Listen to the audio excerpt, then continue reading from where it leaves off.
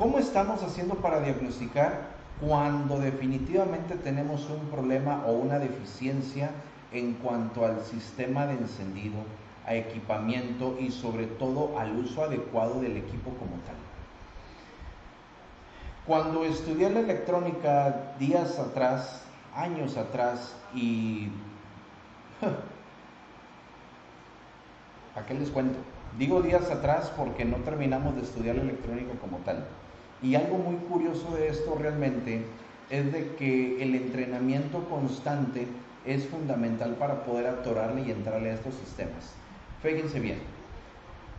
Vamos con el primer mito, el primer mito del osciloscopio.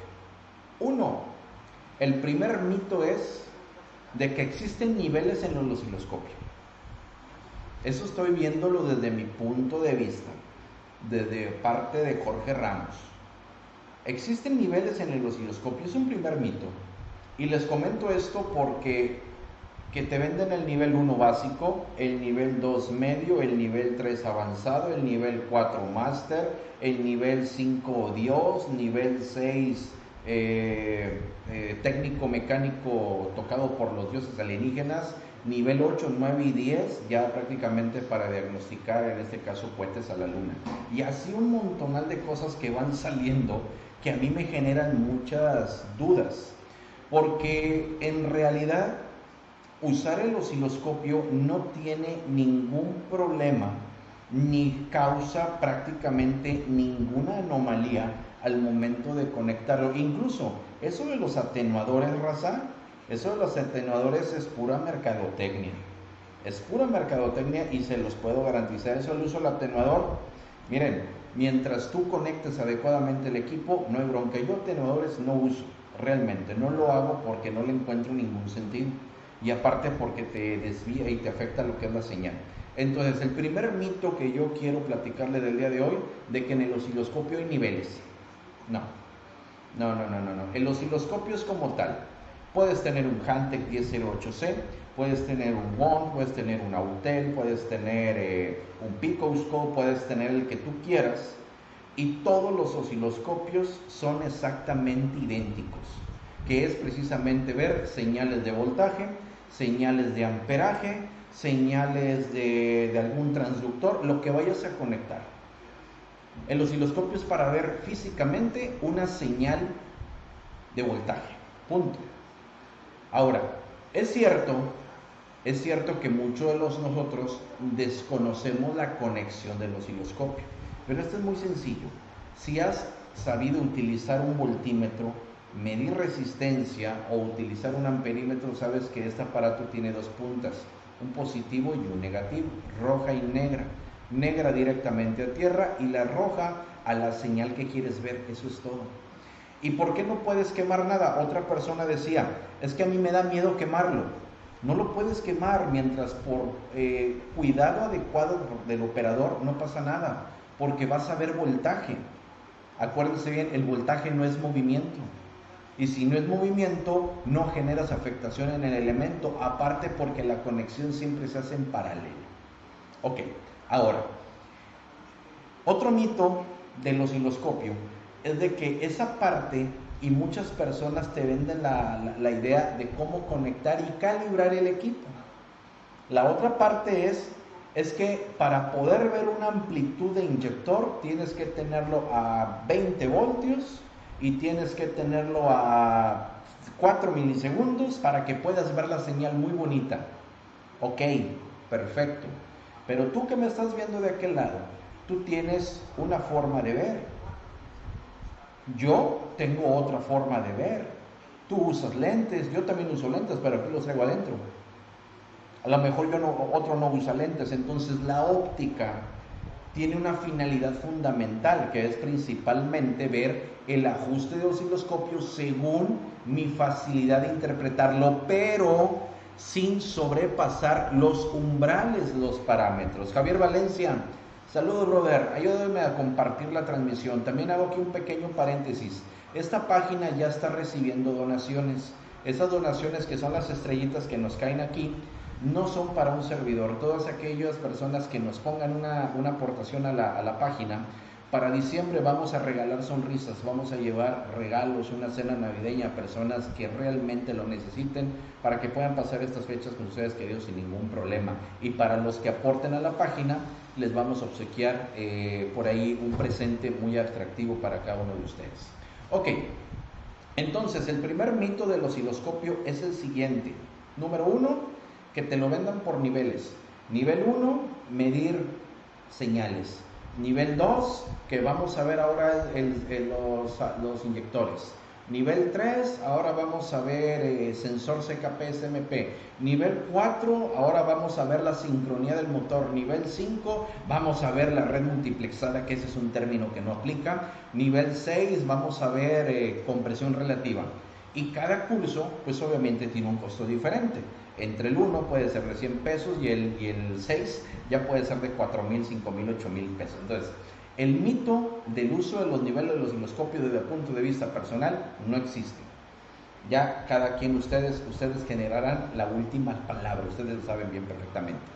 El segundo mito que estábamos platicando era los ajustes del osciloscopio. Bien, Dice la andragogía aplicada en aprendizaje de personas que ya están en campo laboral lo siguiente. No puedes diagnosticar un componente si no conoces el elemento como tal. ¿Y a qué me refiero con esto? Pacheco Osorio, saludos, brother. ¿A qué me refiero con esto? A lo siguiente. Si tú tienes, por decir, esta pieza, que la tienes aquí en tu mano, debes de conocerle precisamente cuáles son las eh, cualidades mecánicas, físicas, si es de que presenta alguna cualidad, si tiene una alimentación positiva, si es un PWM, si es una tierra, no lo sé. Y eso depende principalmente de conocer previamente a lo que me voy a enfrentar. Cuando entiendo a qué me voy a enfrentar, entonces deduzco qué es lo que voy a ver. Por ejemplo, supongo que tengo un inyector de gasolina, ¿ok? Y es inyección de gasolina convencional, el que nosotros conocemos. Ese inyector de gasolina sé que tiene una entrada y tiene una salida. Sé que dentro tiene un embobinado y este tiene una impedancia. Sé que después de medir esa impedancia puedo definir si el circuito está abierto o está cerrado. Siguiente, sé que este inyector funciona con 12 voltios. Y por el otro lado tenemos una activación controlada a tierra. Ok, esa es la parte andragógica del conocer el elemento. Entonces, vamos al siguiente punto. Este es un actuador y este actuador principalmente reacciona en función de un procesamiento o en su efecto de, la, de la parte sensorial que viene de un CKP, SMP. ¿Ok? Y que este inyector, la manera en la cual se controla es precisamente por un tiempo. ¿Ok? Primer punto a analizar. Primer punto a analizar es el siguiente. Vamos viendo por partes. Cambio aquí, vamos aquí a la pizarra un poquito. Vean bien. Vean bien. Como elemento principal, yo tenía por aquí una, toallita para poder borrar y no está. Ah, acá está la toallita. Muy bien. Vean bien. chequen bien, chequen bien esto. Del por qué no podemos caer precisamente ese tipo de juegos. Esto es serio, Raza, esto es serio. Chequen bien. Como tal, yo tengo el inyector, que es el elemento. Y sé perfectamente que hay un control medio del PCM a tierra y tengo una alimentación positiva de 12 voltios. Ok, tengo esos 12 voltios. Como tal, yo ya sé que lo que voy a ver en el osciloscopio, según la amplitud y calibración que le voy a dar, tiene que ser acorde a que esté dentro del parámetro de 12 voltios. Y que mi pinza que voy a conectar al osciloscopio no voy a ser de las atenuadas, porque esas atenuadas tienen por 1 o por 10 un switch que te va a afectar. Entonces, si voy a ver 12 voltios, tengo que ver que mi pinza esté solamente a por 1 para que no me vaya a afectar esto. Y a final de cuentas, lo que voy a determinar primeramente es el umbral de la amplitud. El umbral de la amplitud viene directamente en el ajuste que le voy a dar al voltaje que estará presente desde un punto cero y de forma vertical. Entonces, en el botón que tengo aquí o la perilla, dependiendo del osciloscopio que tengo, simple y sencillamente en la casilla de voltaje por división, si yo ya sé que el elemento que voy a valorar es un inyector que me trabaja a 12 voltios, entonces aquí puedo ajustarlo. Si tiene ajuste fino, es decir, que me puede dar por 10, 11, 11.5, 12, yo puedo ajustarlo si quiero a exactamente los 12 voltios. Y si me da un ajuste eh, de corte, entonces me voy hacia el número mayor, que sería en este caso normalmente viene el ajuste a 20 voltios. Entonces, quiere decir que la señal que yo voy a estar viendo en esta parte, pues bueno, corresponde a que yo tengo ya calibrado mi osciloscopio para poder ver 12 a 20 voltios. Ahí está. Y como son actuadores, un BBT, un relevador, una bomba de combustible, uh, ¿qué más te gusta? una EGR, no sé, una bobina, normalmente te tienen por el lado positivo 12 voltios. Entonces, ¿por qué diablos muchas personas te dicen, es que ajusto las 50 para que quede sobrado? Espérate, voy a medir una activación. No voy a medir la chispa de la bobina, que ese es otro rollo. Si yo voy a ajustar mi osciloscopio con una sonda o algún de esos que dicen matamoscas para poder ver la amplitud del voltaje de inducción de la bobina, es lógico como técnico que yo ya no voy a usar 12 voltios, ni mucho menos voy a ajustar mi osciloscopio a corriente directa. Entonces, esto es en cuanto a la parte del voltaje. Tiempo. Decía una persona, es que ¿Por qué yo muevo el osciloscopio para que se me reduzca la señal? ¿Y por qué se me mueve todos los parámetros? ¿Por qué ya no es la misma frecuencia? ¿Por qué ya no es el mismo ciclo de trabajo? ¿Por qué? Porque, compadre, porque el osciloscopio se ajusta a lo que tú estás determinando. El osciloscopio no sabe lo que, lo que tú quieres ver. No es culpa de los... Tú estás ajustando el osciloscopio a la necesidad tuya. Ok, ahorita vamos precisamente al tiempo. Ahí compártanle banda, compártanle por favor. Ok, esto es en cuanto a voltaje. Tiempo. Vamos a checar el tiempo. Borro nuevamente aquí mi pizarrón, que por cierto le mando un saludo a toda la banda del grupo CCA, que estuvimos ahí en un cursito de sistemas ABS la semana pasada, bien fregón, que estuvimos viendo y sacamos precisamente un error de software con PicoScript. Ese es otro tema, ahorita platicamos un poquito de eso. Ok, tiempo. Salió una publicación que Dios santo.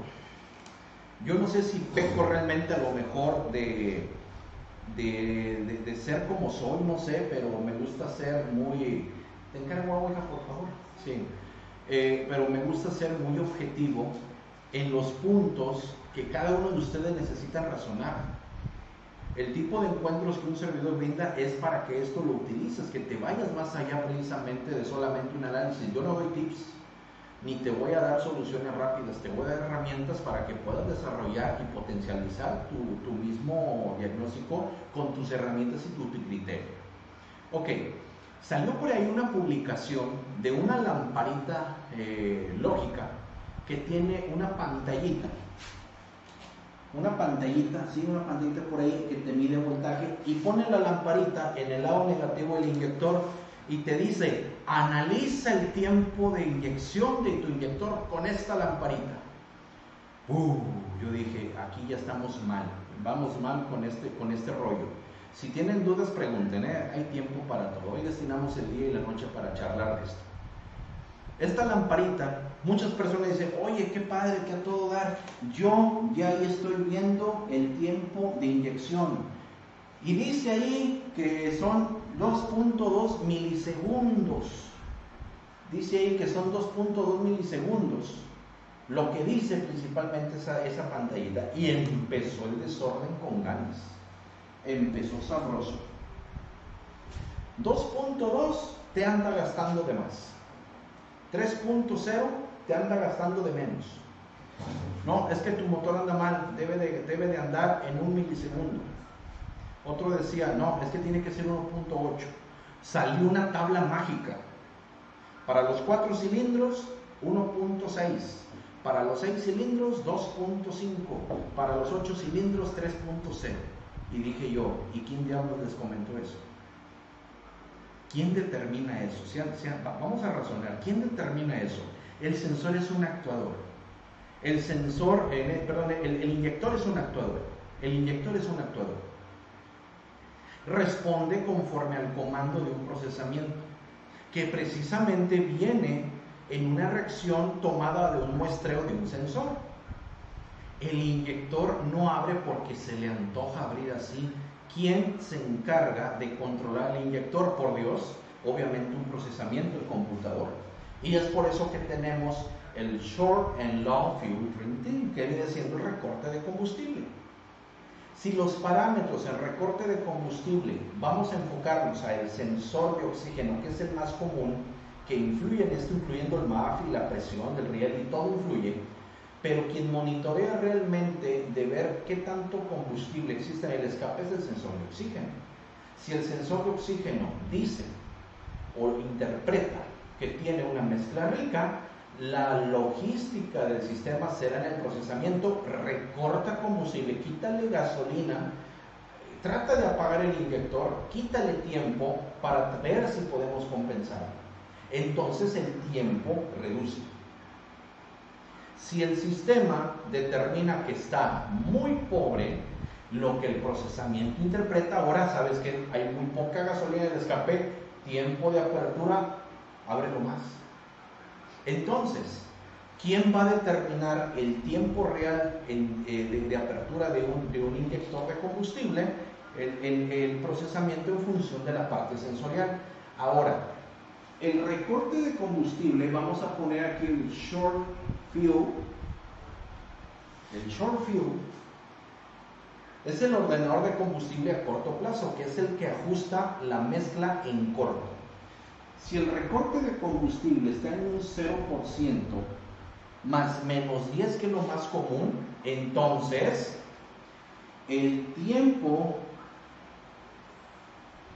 el tiempo que aquí lo voy a poner el tiempo que dura abierto un inyector es determinado por un ordenador de combustible. Si aquí en este tiempo está en 3.0 milisegundos, compadre, si estás viendo el short fuel y está en 0%, esto es correcto. Porque está reaccionando conforme a lo que dice el ordenador de combustible. Si este estuviera a menos 30, que en este caso está detectando que hay muy poca gasolina, aquí es lógico que tendré una apertura mayor. Ahora, entonces, ¿cómo ajusto mi osciloscopio para poder ver bien esto?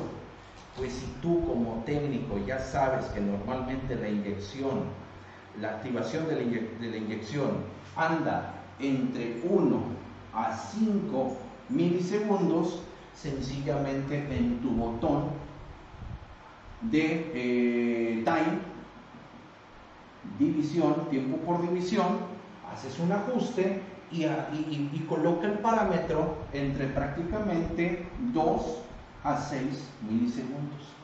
Entonces tú ya estás haciendo el ajuste necesario para que puedas ver adecuadamente esta señal de voltaje. Este es el segundo mito del que les quiero platicar en cuanto a, los eh, osciloscopios. que no existe una regla fundamental, incluso por ahí sacaron un librito en el cual decía para inyector de tanto a tanto por tanto, es una referencia, está bien, pero deben de entender que ese tipo de información nada más los lleva a confundirse. ¿Por qué? Porque simple y sencillamente ustedes deben de conocer el sistema. Vamos un poquito acá a, la, computadora. Vamos un poquito por acá. Dice Javier Valencia, Javier Valencia dice, y para medir inyectores con Real Bosch, eh, algún tip. Eh, a ver si me puedes comentar, brother, eh, referente a Real Bosch, ¿a cuál te, cuál te refieres? ¿A los Common Rail de diésel? ¿A los de inyección directa? Platícame. Ahí me vas diciendo y con todo gusto te puedo orientar. Ok, vean bien, Raza. El día de hoy, y también asimismo les comento, Asimismo, les voy a comentar el, día de hoy. Estuvimos viendo una situación referente a la forma en cómo eh, vimos ahí una anomalía en un inyector, eh, perdón, en un, en un, sensor, en un sensor eh, de acción de árbol, déjenme buscar por aquí, mm, señales de voltaje. Eh, escritorio, denme un minuto, permítanme. Denme un minuto, señal de voltaje. Ok, aquí lo tengo. Mm, no, esta no es. Aquí está, 2022, este que tengo por acá. Ok. Vean bien. Les voy a compartir aquí la, la pantalla y vamos a ver la siguiente, la siguiente señal. Ahí va. Comparto, chequen bien. Aquí deben de estar viendo ya en, su pantalla una señal analógica de corriente alterna en donde principalmente estamos viendo eh, una amplitud. Gracias, Es que ahí disculpen, me voy un traguito de agua. Ok. Ahí están viendo ustedes una señal analógica de corriente alterna, producto de un P0300 en Aveo que el día de hoy ahí estuve eh, transmitiendo en esta página eh, como mediodía, en donde estuvimos viendo esta anomalía que se presenta ahí, precisamente en ese punto. En ese punto que estás viendo ahí, eh, muy curioso, que se sale de parámetros y que muchos pudiéramos a lo mejor constatar como una problemática de equipo o una mala conexión. Ok, ahí les dejé la inquietud, ahí les dejé la inquietud a la raza para ver qué estaba pasando y qué pudiese ser lo que estaba presentando este vehículo. P0300 en 1.6 ABEO. Ok, vean que pasa algo bien curioso. Ahorita volvemos a la imagen. Pasa algo bien curioso. P0300 es un fallo generalizado. Ese fallo generalizado termina en cero. Acuérdense bien, siempre se los he dicho. Códigos terminados en cero, el sistema te dice, compadre, Diosito te acompañe, tú eres el técnico, tú eres el fregón, tú solucionalo. ¿Por qué? Porque el sistema determina que está operando, mas no puede determinar exactamente el origen del fallo. Es entonces donde volvemos al mismo punto, el razonamiento de determinar qué sensores involucran el encendido en el vehículo. Y pues es por lógica que en este modelo tenemos dos, CKP y CMP. El CKP, que es el cigüeñal, es de generación. Ya puedo ir viendo, es un sensor de generación.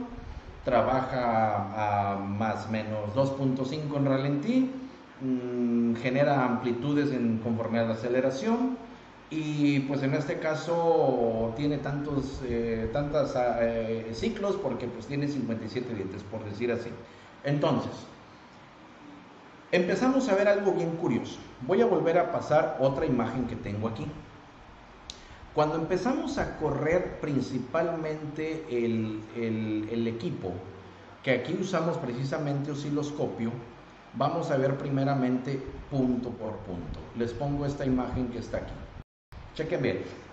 Eso que están viendo ustedes principalmente es una base de datos que anda circulando mucho por internet, es confiable, ya lo determiné, y me dice, me habla de una sincronía, de una sincronía. Y ojo, esto se lo andan vendiendo ustedes como si los copio nivel máster y nivel 6, y porque es otro mito, que no tienen por qué ustedes estar eh, desembolsando esas cantidades de dinero cuando ustedes lo que necesitan es entrenarnos en señales analógicas y digitales. La parte de arriba es una señal digital, la parte de abajo una señal analógica.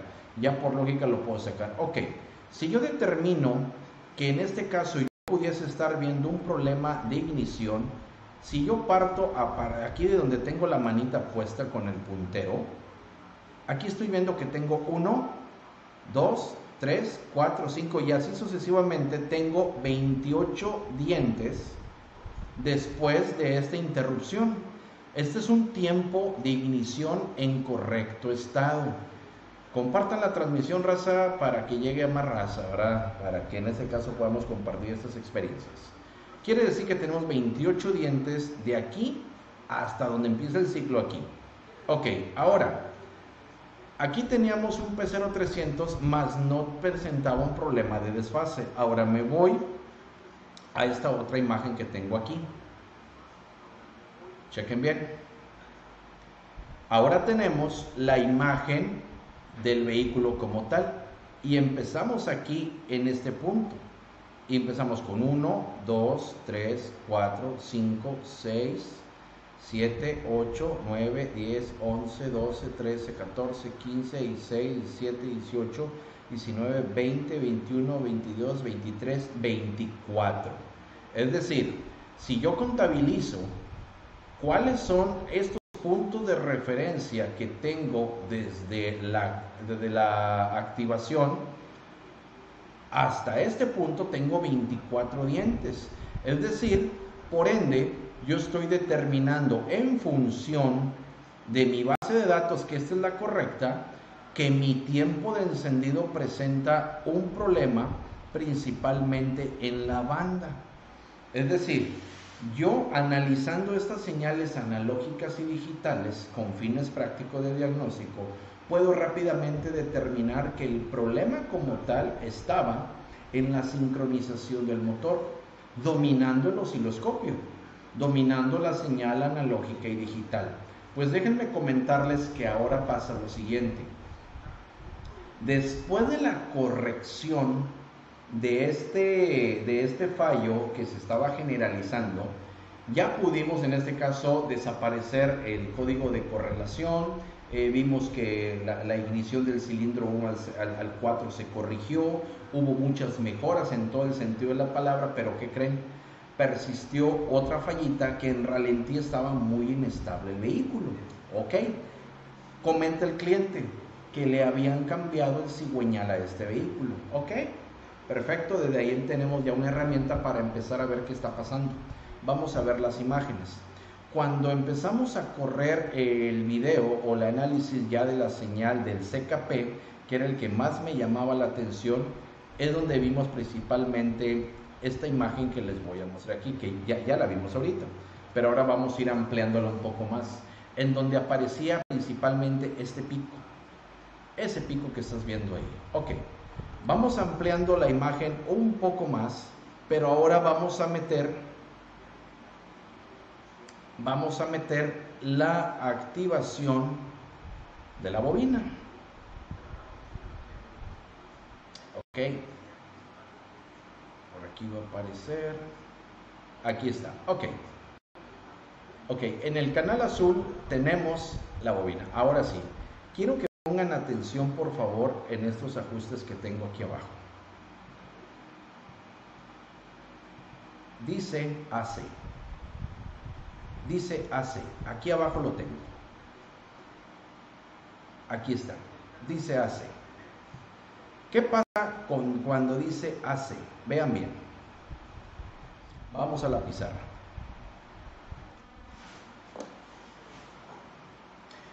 Nosotros como técnicos, nosotros como técnicos, necesitamos saber también asimismo qué voy a medir. Si es una corriente directa o si es una corriente alterna. ¿Ok? Resulta que el CKP es una señal, según lo que estoy viendo, es una señal de corriente alterna analógica. ¿Ok?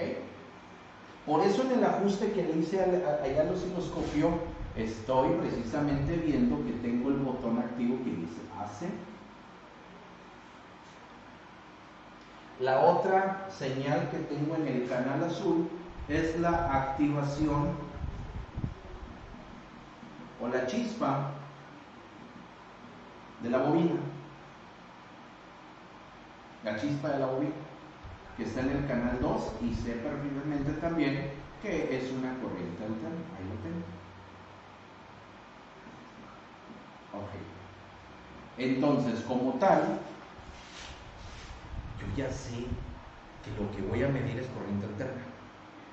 ¿Ok? Tan sencillo como apachurrar el botón si es corriente directa que son todos aquellos sensores que solamente trabajan del lado positivo, o si en este caso es la corriente alterna, porque lo veo presente en ambas, ambas polaridades. Eso es parte de cada uno de lo que, lo corresponde a nosotros. Ver qué es lo que vamos a checar. Ahora, regreso nuevamente regreso nuevamente a las imágenes. Vean bien.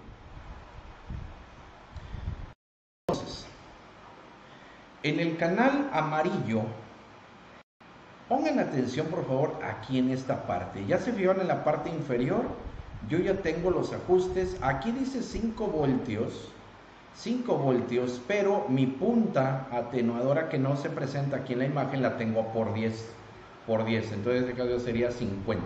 Perfecto, 50.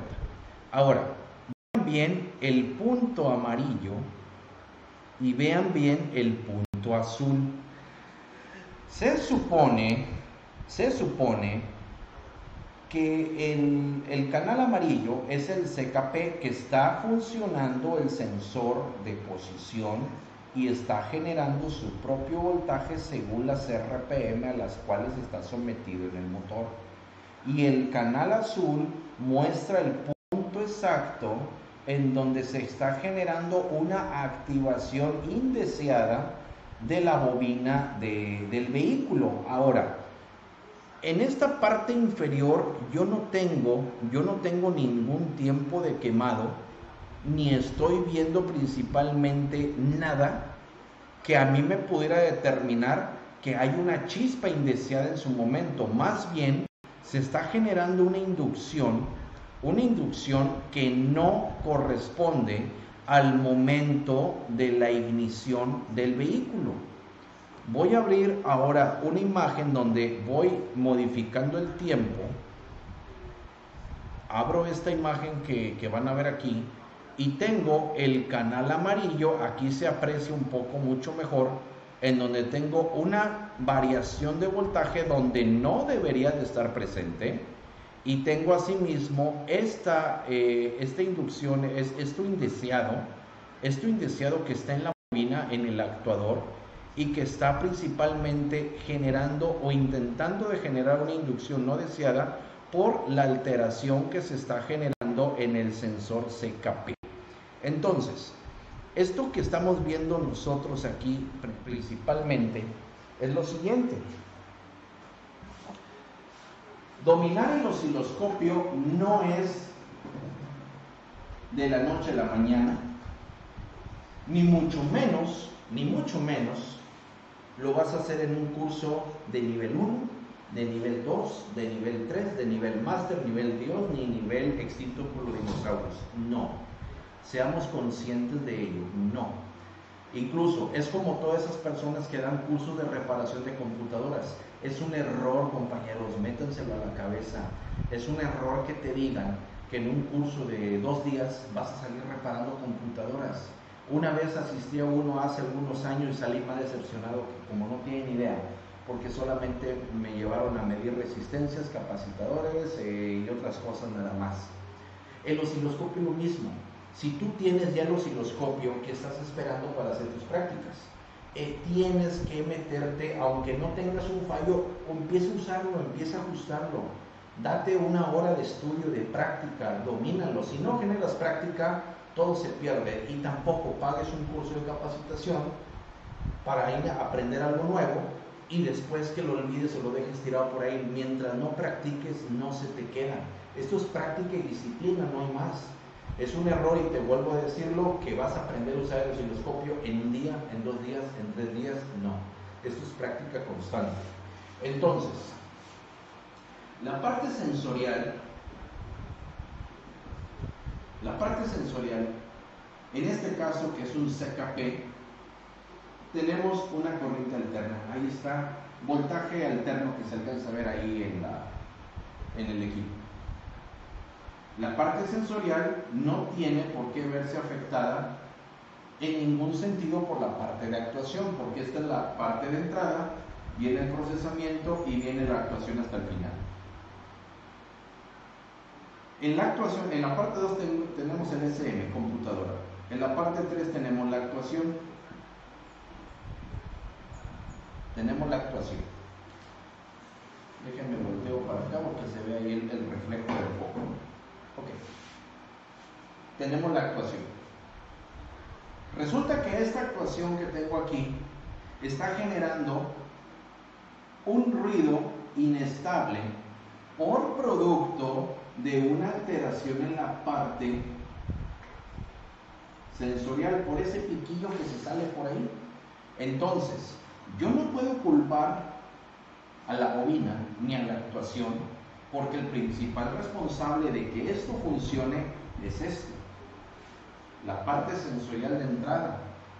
Pudiese ser esto, pudiese ser, como muchos dijeron, es la computadora, pero no es. No, porque si yo estoy viendo acá una protuberancia que está afectando esto, el, el SM responde a esto. Si desde aquí vamos mal, esto se afecta acá posicionando un pecero 300. Por eso el mismo sistema no sabía ni por dónde venía el trancazo. Porque esto está presente, pero la computadora no tiene la estrategia ni el software para poder definir qué está pasando con esta alteración en el voltaje. Ok, primera verdad del osciloscopio de esta noche. Primera verdad. ¿Es necesario para entrarle a diagnóstico automotriz? Totalmente. No existe otra manera garantizada de que pueda sacar fallas si no es con osciloscopio. Segunda verdad, en pleno 2022, ¿necesito usarlo en mi taller? Claro que sí, a reserva que tu especialidad sea como mecánico, eh, dar mantenimiento, suspensión, eh, no sé, eh, hojalatería, pintura, solamente cambiar filtros, cosas por el estilo, ok, esto ni te involucres porque no es lo tuyo. Pero a mí lo que me sorprende mucho y lo que sí me puede generar algo de dudas es de que cómo es posible que le entramos a, a vehículos con códigos de comunicación o códigos de esta naturaleza de ignición de combustible o chispa y no podamos entender cómo funciona esto. Veo mucho ahí en los tutoriales de YouTube en donde dicen es que si el carro no enciende o tiene esta falla, cambiamos el CKP y es listo. ¿Estás seguro de lo que estás haciendo? ¿Tú crees que al cliente le agrada mucho de que solamente traigas el sensor y que a la hora no jaló?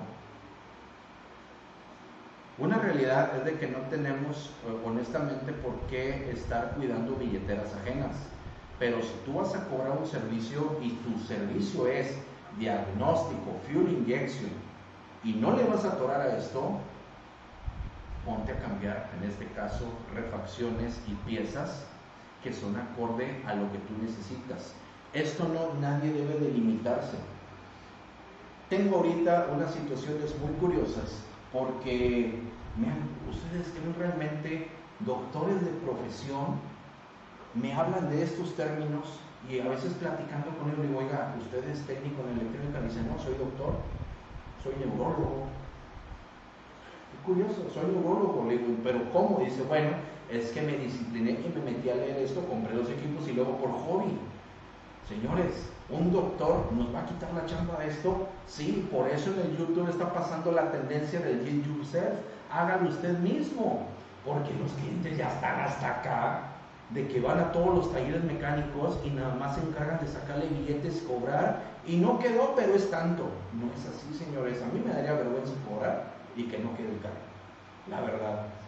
Y si cobro y falló, lo vuelvo a arreglar y yo no ando dando lata porque yo respeto mucho la inversión del cliente en su servicio. Esto es ignición. Lo que deberían de ver en osciloscopio, mitos, mito del osciloscopio en osciloscopio nivel 2 o nivel 3. Pero estos detalles en osciloscopio nivel 2, nivel 3, esos mitos de esos eventos, esto no te lo dicen. ¿Y por qué no te lo dicen? Porque te están mostrando analizar una señal predeterminada y no te están diciendo cómo analizar una señal de voltaje. Entonces, ¿para qué me sirvió ir a tomar osciloscopio 1, 2 y 3 si solamente fui a medir y ver y no estoy analizando las señales como tal? ¿Qué quiere decir esas alteraciones, esa protuberancia, esa desincronía? ¿Cómo lo voy a analizar? Es imposible que pueda pasar así. Vamos a sacar el escritorio para mostrar otro pequeño detalle. Miguel Yair Ramírez Reyes, ¿no tienes un curso de puro diagnóstico con osciloscopio? De hecho, brother, te he de platicar que todos, todos los eventos que tengo, todos son con osciloscopio. Yo no me meto a programación ni me meto realmente a, lo mejor a codificación y que eh, enlaces de, de módulo. No lo hago. yo, yo no doy esos cursos. Tengo todos los equipos, ahí los tengo. Ustedes de hecho en redes sociales no me va... Es raro, raro cuando salgo con algún equipo de programación con un, una J2534, con una clonación de una IO Terminal, con KES, con... Tengo muchos equipos de esa naturaleza, pero no me gusta mostrarlos, nada de eso, porque en muchas las ocasiones la programación son pasos a seguir, pasos por parte del operario.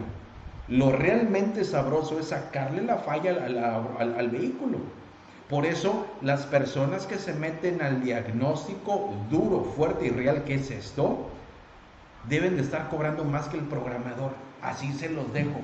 A mí se me hace, se me hace absurdo, se me hace absurdo que una persona te venga a, hablar de programación porque conecta una cosa. Sí, el dealer hay que pagarlo, la cuota, todo eso, yo no tengo ninguna objeción en ese sentido. Pero realmente estas personas luego se dan de cuello alto y solamente llegan porque tú dijiste, es que es una programación. Llegan estas personas, te conectan el equipo, hacen ahí que están programando que el dealer, que el número BIN y todo eso, te meten todo ese sistema y desconectan, dice ya está programado, son 5 mil baros. Porque eso sí, hasta el mismo compañero mecánico lo, lo tiran a matar. Eso te lo digo bien, bien, bien así directo. ¿Verdad? Y ellos no van a analizar, ellos no van a decir, porque dijo un cuate, es que nosotros los programadores son los más, somos los masters, somos, por Dios, ¿será posible eso? Un diagnóstico tiene la habilidad de tumbar a cualquier persona de esa naturaleza. ¿Por qué? Porque simple y sencillamente te metes en temas de inmovilización, que lo sacas con osciloscopio, señal digital, comunicaciones. Llega el cerrajero con sus equipos de programación y que me voy a conectar a la nube y al web y no sé qué tantas cosas más. Y se atoran porque, ah, no programó. ¿Y por qué no programó? Ah, pues porque resulta que no sé, pero hay que cambiar computadoras. Resulta que el protocolo de comunicación estaba caído. O estaba, perdón, fuera de amplitudes. O la antena no tenía la comunicación WAR TXRX y dónde queda precisamente la labor de nosotros. Por eso les digo, el diagnóstico como tal que domine esto eh, tiene su pase garantizado a la siguiente etapa de nuestro gremio nacional. Lo tiene garantizado. Y quien no lo adopte de esa manera, lamentablemente, lamentablemente tendremos que seguir haciendo lo que nosotros hacemos. Ahora, Verdades del osciloscopio, otra verdad. Es el único elemento que me va a decir sí o no una, una pieza está correcta, es correcto. Nadie más te va a decir si la pieza está buena o está mala. ¿A qué voy con este comentario? Para concluir este tema de este P0300 que pudimos detectar con el osciloscopio, lo que dedujimos que está en error es el reluctor. El reluctor no sirve. El sensor está correcto. La bobina está correcta. El cable está correcto. Todo está en perfecto estado. Pasa lo siguiente. Resulta que ese reductor, y es aquí donde viene el otro detalle, de que no se crean todo lo que les dicen todos esos folletitos de, de información técnica. Si las bases de datos son buenas, la ingeniería inversa es mucho mejor. Ayúdenme a compartir, banda. Compártanle ahí porque el tema se me hace que va a estar bueno. Si hay dudas, vayan pasándolo por aquí. Dice, saludos amigo, de, sabe de María, yo tomé una charla con la semana pasada. A ver, ahorita, ahorita me escribe porque como que se trabó ahí la, la, palabra, no sé, ¿verdad? Ok, chequen bien. ¿Por qué se deduce y garantizamos que es el reductor? Vean bien.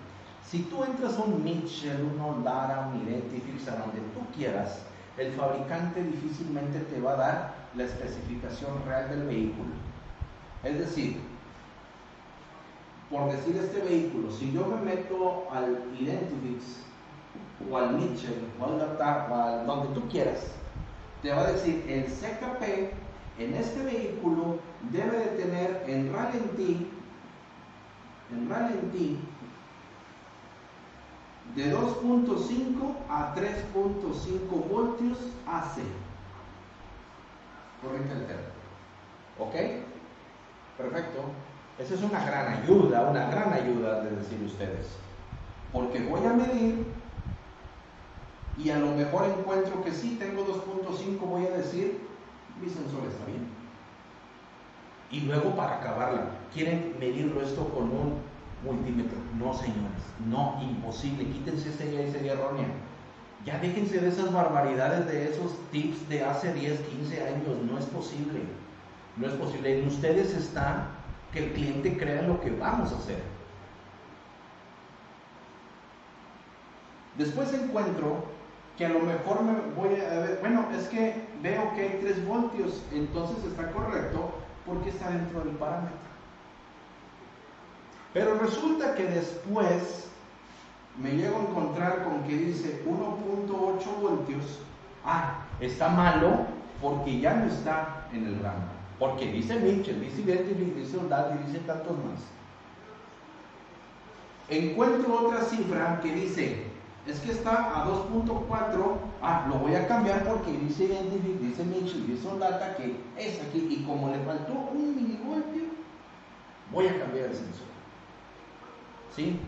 Pero le viste, la, viste el sensor a detalle ¿Viste la comparación sensorial y, y, actuación? No lo vimos, como lo estamos viendo y te lo estoy compartiendo. ¿Ok?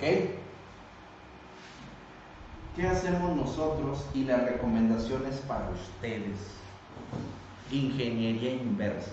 La ingeniería inversa es sustraer la información que yo ya tengo en un vehículo de cierto modelo, con cierto, eh, no sé, sin código de falla principalmente. Lo que yo hago es ir a tomar el muestreo de un vehículo que esté en óptimas condiciones y vengo a comparar con mi lectura actual que eso sea correcto. Es la única forma, compañeros. Y es la única manera en la cual van a acabar con esta mala práctica. El fabricante no les va a decir el, punto real. Y muchas de las ocasiones entre versión S, SE, SR eh, de 2 y 4 cuartas, esto cambia. El software cambia, los módulos cambian. Entonces aquí, simple y sencillamente, nosotros tenemos una base de datos de otro vehículo en buenas condiciones y nosotros detectamos inmediatamente que en ese vehículo, en ese vehículo, debe de estar dando en ralentí 1.3 voltios corriente alterna en ralentí. según ese modelo, porque es un modelo eh, fabricado en la India, no es americano, es, es, indio ese, ese, carro. ¿Ok? Y resulta que nosotros encontramos en esas amplitudes, en cierto tiempo, que se nos generaban solamente 800 milivoltios AC. Entonces, la cifra real sustraída de un vehículo idéntico es 1.3 corriente alterna, pico a pico. Y lo que me estaba dando este sensor, ya después de un tiempo, aparte de la falla que se veía ahí, me estaba dando esto, en ralentí, en ralentí. Ya después de que hicimos las correcciones y, que vimos por ahí, genera, generaba esto. Entonces, la cifra sí es mucho. Sí es mucho, es demasiado. Entonces, la inestabilidad del vehículo, la falla principalmente de ese pico que se veía ahí, y las amplitudes que no alcanzaban a generarse para satisfacer una ignición correcta, daba como consecuencia que el P0300 de este vehículo no está ni en el sensor, no está ni en la bobina, no está ni en los cables, ni las bujías, ni los inyectores. El problema es el reductor. ¿Por qué? Porque ese reductor puede estar más pequeño y tanto se retira el reductor del sensor, no genera ese campo que nosotros necesitamos para que alcance el 1.3 voltios. Esa misma distancia alejada del sensor provocaba que siempre en la misma secuencia, en el, en el diente número 42, siempre se veía ese pico, ese pico. Por eso decían, bueno, es que ¿qué cambio? ¿El sensor o el reductor?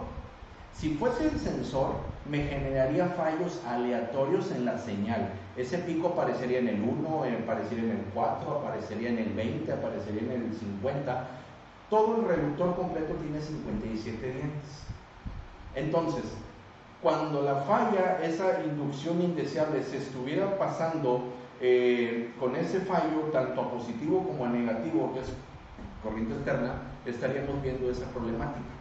Entonces, damos como resultado de conclusión que el problema es el reductor, porque siempre se manifiesta donde mismo esa alteración y, lo, y la rueda que es más pequeña o que ya tiene desgaste, provoca que no se generen los 1.3 voltios. Ok, raza.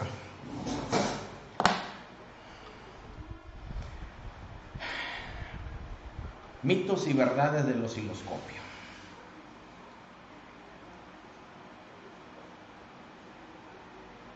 Ay, definitivamente es un tema muy extenso. Un tema muy extenso. Me han de preguntar ustedes, ¿cuál es el mejor osciloscopio? Para la ignición yo utilizo Hantec, el que ustedes ven normalmente, el que, el que uso mucho, Hantec, Hantec. Para decodificación uso Picoscope, no hay más, no hay más. Les voy a dejar aquí una, una imagen, se las comparto.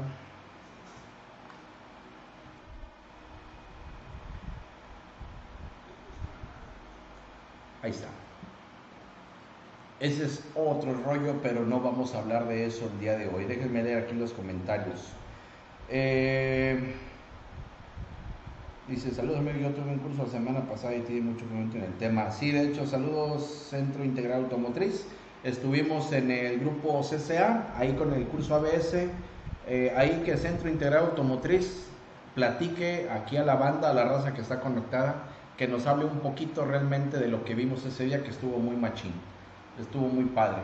Y bueno, y para finalizar, como les estoy comentando, Raza, aquí les dejo principalmente el, eh, lo que viene siendo la trama de datos, que eso ya es otro rollo, ese es otro tema. Mande a preguntar, ¿y qué equipo utilizo para sacar la trama de datos? Aquí está en la parte superior, Picoscope, no hay otro. Este es el que yo utilizo para los códigos U para los códigos U, es decir, comunicación, network, que ese ya es otro tema. Y este viene siendo otro mito del osciloscopio. Con cualquier osciloscopio yo puedo medir un protocolo CAN, un protocolo LIN, un protocolo WART. No. Es una mentira. Es una mentira que vayas a un curso de redes multiplexadas porque te lo voy a dejar en plano. Si, si tú sabes leer un diagrama, ya dominaste redes multiplexadas porque red multiplexada es la conexión de los módulos entre sí. Fácil y sencillo. Lo interesante es ver la trama. ¿Y qué dice la trama? Ningún osciloscopio que no tenga codificación no te va a poder dar la información que tú necesitas. Entonces, en conclusión, hasta en los osciloscopios es una verdad de que existen niveles. Ningún osciloscopio va a hacer todo, como prácticamente ningún escáner va a hacer todo. Eso es definitivo, Entonces hay que ver qué es lo que está pasando con esto. Y este tipo de, encuentro, esta charlita que yo tenía programada aquí con ustedes, esa era la finalidad, de hablar de los mitos y verdad del osciloscopio. ¿Cuál es, la, eh, ¿Cuál es el alcance? Bastante. Todo depende de qué tanto le vas a meter a tú como persona querer dominar. Es decir, no, el equipo no va a hacer todo. El equipo no te va a dar maravillas.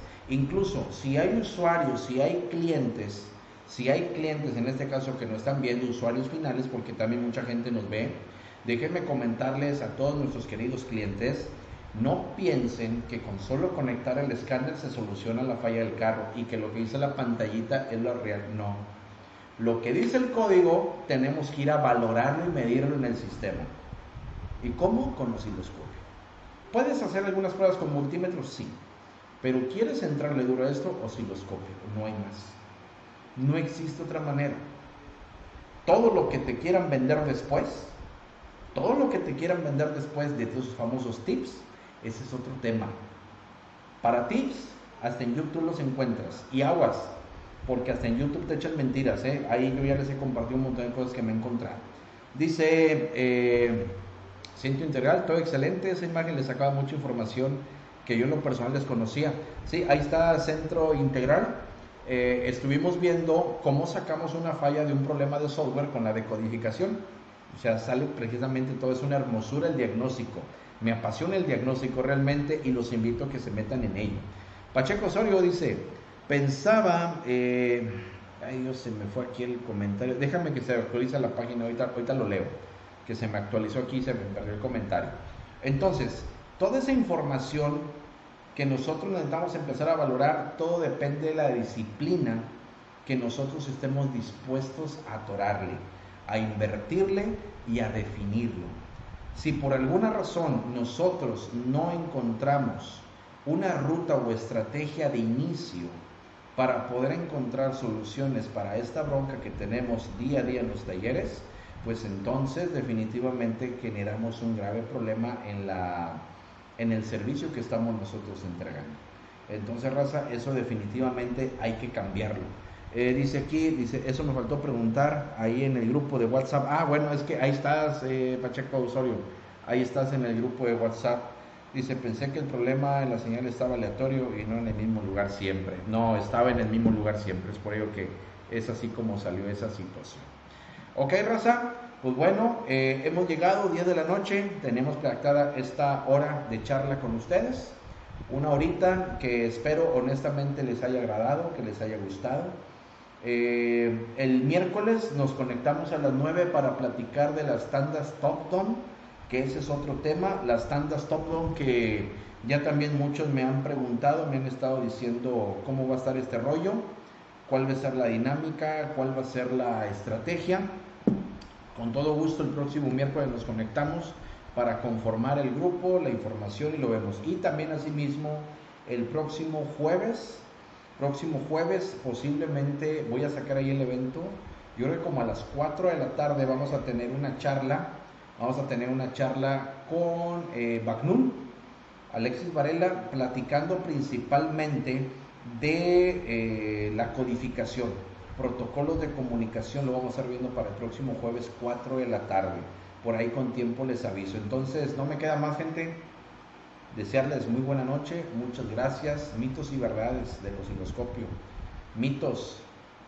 No existe el nivel 1, 2, 3, 4, 5, 6, 7 y 8. Verdades. entrénate en análisis de señales digitales y analógicas, no hay más. Nos vemos el día de mañana prácticamente en Más que Motores, con un caso muy especial de lavacoches a dueño de taller y también asimismo gracias a Monster Shine, nuestro patrocinador oficial de un servidor. Cambio fuera, cuídense y le pases la chica. Ahí nos vemos, estamos al contacto.